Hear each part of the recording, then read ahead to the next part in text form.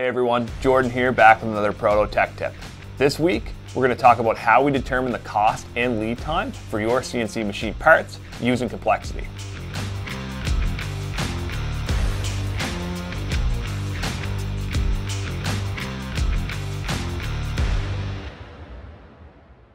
So when you bring your CNC designs to ProtoCase, the first step our engineers will take will be evaluating your design according to our internal complexity rubric.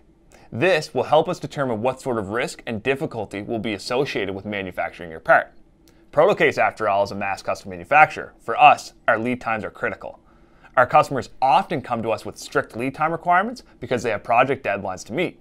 This means we will need to ensure that your parts are properly assessed during the quoting stage. In this way, we can ensure that we manufacture them on time.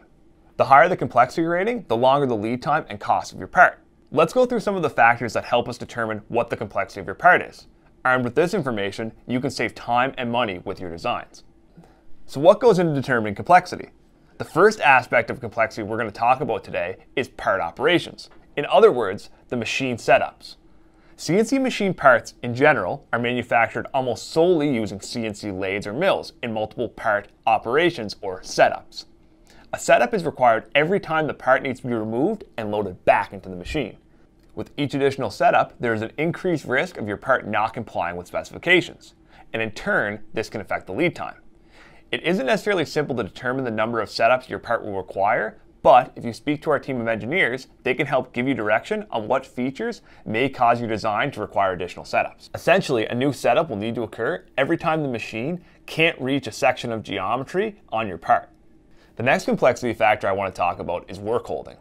How the part is held in the machine setup determines the predictability we have when programming the part. If the part is held in a simple vise, then it's easy to predict how the stress of machining will affect the part. Conversely, if you have to jig the part or use other complicated work holding techniques, it becomes much more difficult to predict how the part is going to react when it's machined. Work hold can vary greatly with respect to complexity.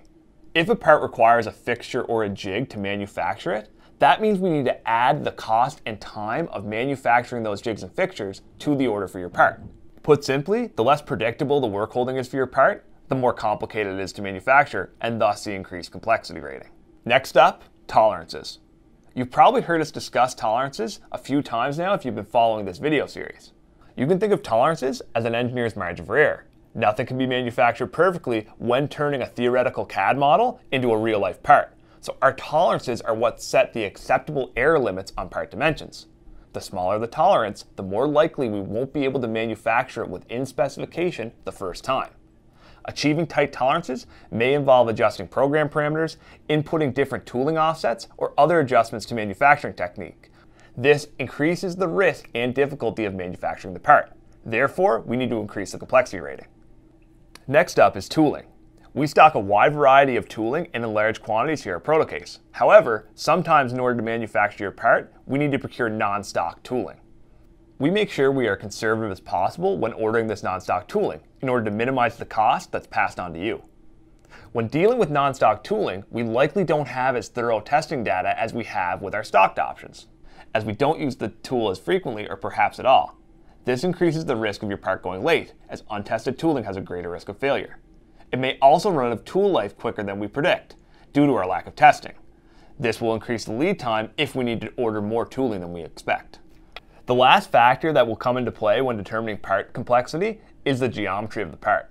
Certain part features will make manufacturing the design much more complicated. We have talked about this in the past, but because of the near infinite ways that you can design and machine parts on a CNC mill, it won't be possible to go into this in too much depth. Instead, let me give you a quick rundown of some of the features that will make your design much more difficult to manufacture. Very deep features, like pockets, are limited by available tooling. Very small features, like ones with cross-sectional areas less than a 16th of an inch, can be tough to make. Complex 3D geometries can also be very tough to make. These are only a few examples of feature types that may affect part complexity. As always, you can reach out to our team and we will help give you direction on how you can modify your part to simplify manufacturing. Or our engineering and design services team can modify the part for you. We're here to help you keep your projects moving and get your CNC machine parts made as quickly as possible. Keep your eyes open for a new video coming soon that will give more detail on CNC part geometry and features. Thanks for watching this week's Proto Tech Tip. If you've got a topic that you want covered in a future video, comment below to let us know. We'll see you back here next week.